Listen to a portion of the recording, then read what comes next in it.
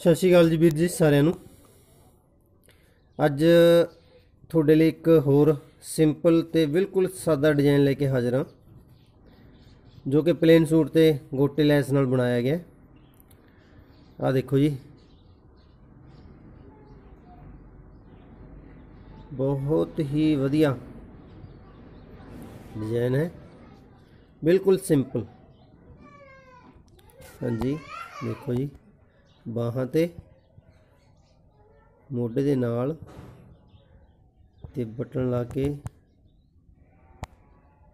ਨੀਚੇ ਲਟਕਣ ਵਾਲਾ ਬਟਨ ਲੱਗਿਆ ਹੋਇਆ ਹੈ।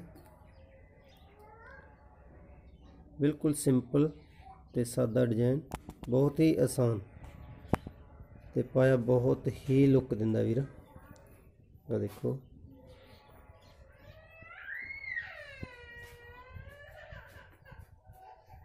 ਵੀਡੀਓ ਚੰਗੀ ਲੱਗੀ ਤਾਂ ਸ਼ੇਅਰ, ਕਮੈਂਟ ਕਰਕੇ ਜਰੂਰ ਦੱਸਣਾ।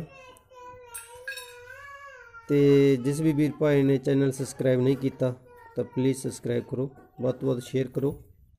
Thank you